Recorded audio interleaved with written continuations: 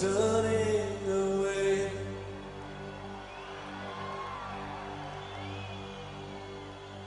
From the pale and downtrodden, and the words they say